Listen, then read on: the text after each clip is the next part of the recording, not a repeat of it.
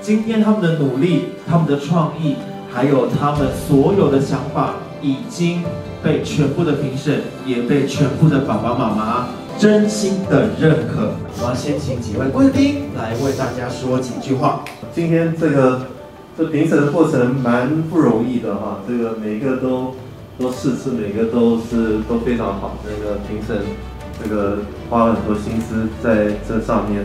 每个产品啊都很有特色，而且呢，烤的你看这个颜色都不是专业的，连我们的这个大师啊都都点头的，而不是摇头。哦，所以我想呢，这一次啊，我们要感谢啊这么多的家长，这么多的小小厨神，让我们这一次的比赛啊非常的成功。首先，我们来颁发面试字。